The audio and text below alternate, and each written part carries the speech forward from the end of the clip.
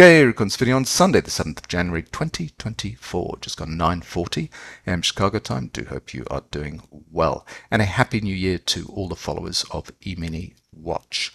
So we took a couple of weeks off uh, over Christmas and New Year's, and that's why you've not heard from me. We also changed locations. So uh, having spent a glorious few months in France, we're now back in Hawaii on the beautiful island of Kauai.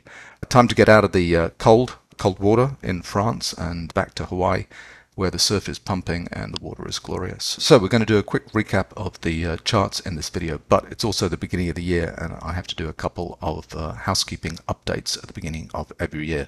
The first one is uh, this article, feature article on the eMini Watch website, all about eMini futures.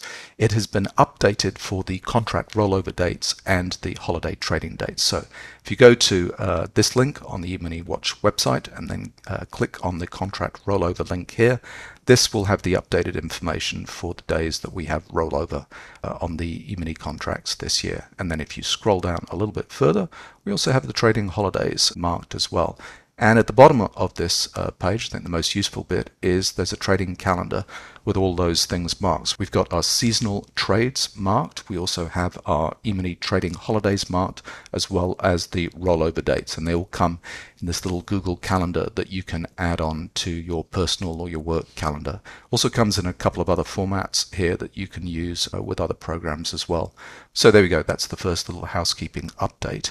The second thing that I do on an annual basis is update this spreadsheet, which is the tick bar chart settings for each of the markets. If you're a subscriber to the Better Indicators, you've got access to this spreadsheet in the Your Account page.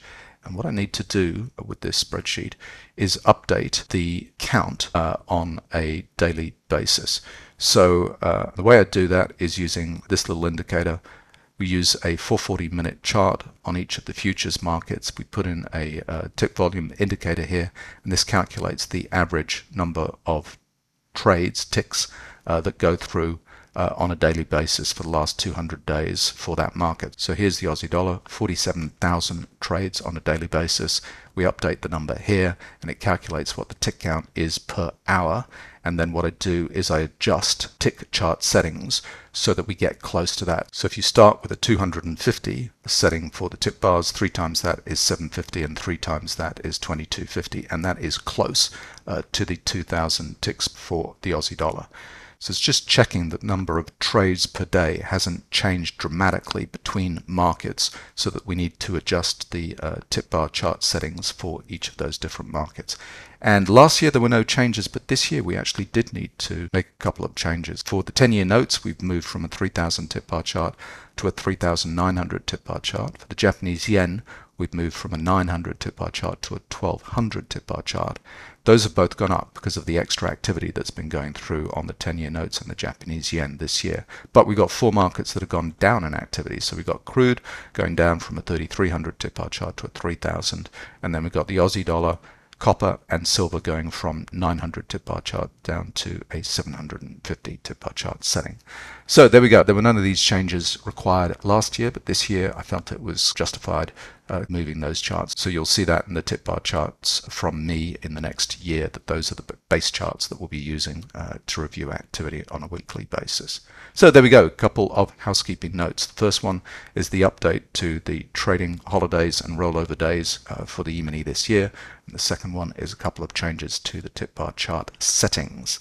So let's get to some charts. We're going to go through the E-mini daily chart all the way down to the 15 minute and the 13,500 tick bar chart. And then I'm going to roll through the uh, swing trading charts, the daily charts for the futures markets and just see where we are at at the beginning of the year. Seasonal pattern always tends to be bullish into holidays. It's bullish uh, into the end of the year. We've got window dressing going on by the fund managers, keeping everything good for their numbers at the end of the year. And then at the beginning of the year, we also have people readjusting their portfolios and profits being taken and so on. And that's what's accounted for this movement up uh, into the end of the year and then some profit taking going on. You can see we had an exhaustion buy pattern at the high with a Rambo pattern. That was one of the days between Christmas and New Year's, right at the very high. Amateur activity in that period, there's no professionals really trading between Christmas and New Year. They're taking that time off, and that's amateurs, unfortunately, getting wrong footed right at those highs.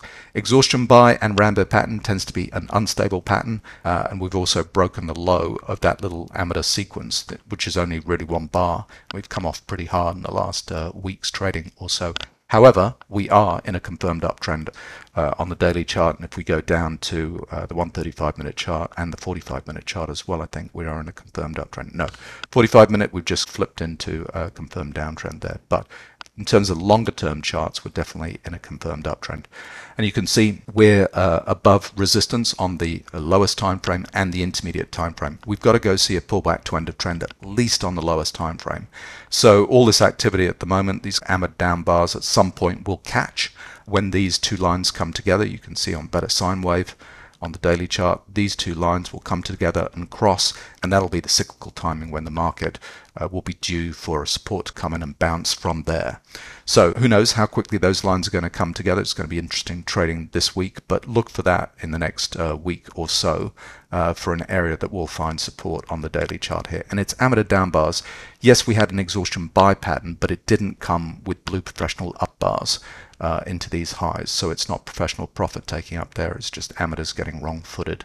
And we're going to come back down, find support, and bounce up from there. So interesting times on the daily chart. Going down to the 135 minute chart, here you can see again confirmed uptrend uh, with the background printed in red, which means in terms of price and volume, we're in an uptrend. Here you can see the Rambo patterns. The last Rambo patterns that we had this little sequence here, I always talk about look for the break of the amateur bars in the sequence, and that was this bar here. The low of that sequence never got broken, and so we kept on moving up. Yes, the move was being led by the amateur uh, and so it was suspect, but it didn't turn into a change in trend. This one's different. We had all those amateur patterns there, and you can see that little amateur sequence got broken there into a little bit of a downtrend. So time to take profits up here, but still confirmed uptrend. We've put in a little support, the pullback in an uptrend support uh, on this lowest time frame. That hasn't held, so we're going to need to come down to support on the intermediate time frame, which will be that support on the daily chart that we talked about from which we'll have another bounce. No blue professional bars, the readings down here, pretty decent in terms of a sell-off so far, but haven't generated an exhaustion sell pattern down here or blue professional bars at that point, so we're not going to have a bounce quite yet.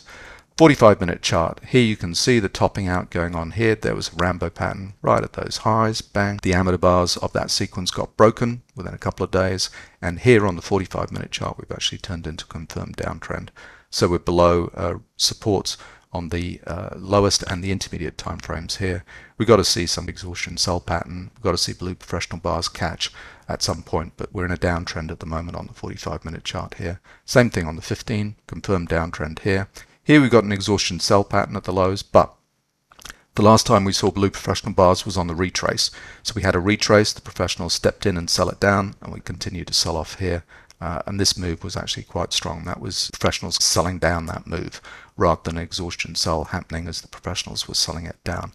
The yellow bars show us the beginning and the ends of the week. So this is the two or three weeks over Christmas and New Year's where we kept on making higher highs and then we have blue professional bars stepping at the lows here, catch the market, push it up to those highs. On this chart here on better sine wave, we're below these supports on all three time frames here, so we've broken those quite decisively. So we're still in the downtrend, still got to go see blue professional bars at the lows coming in to mark up proper low in this market from which we can bounce. 13,500 tick bar chart. What we have not seen yet is exhaustion sell on blue professional bars coming at the lows. That exhaustion sell was getting the move going. You can see the professionals just up here taking profits uh, at the beginning of the week and then we sell off pretty hard. On these retraces, you've got amateur up bars into these retraces. The first one here, blue professional bar, classic stair step trade. We break down, no blue professional bars at the lows. On the retrace, the professionals come in, sell it down, bang. That's a nice trade to the downside. But we've got no blue professional bars at the lows. Down here we have no exhaustion sell pattern at the moment. So we're still in a downtrend on the 13,500 tick bar chart.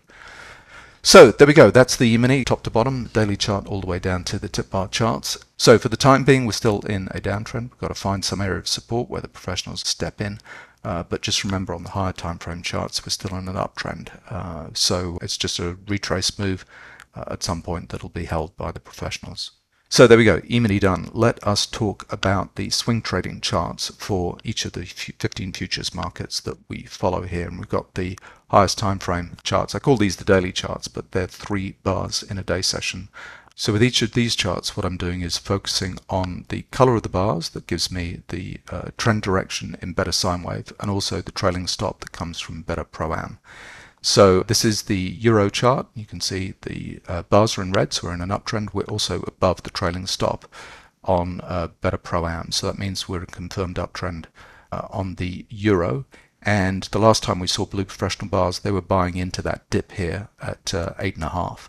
And so we bounced from there, exhaustion buy, maybe getting this move going, and bearish divergence. We just had a little bit of weakness, but we got no blue professional bars at the highs. So long term, we're still in an uptrend uh, on the euro. British pound, same thing. Bars are in red, trailing stop uh, is in red and we're above the trailing stop. Here's all the blue professional bars came in in October, November, down at these lows and we rallied from there.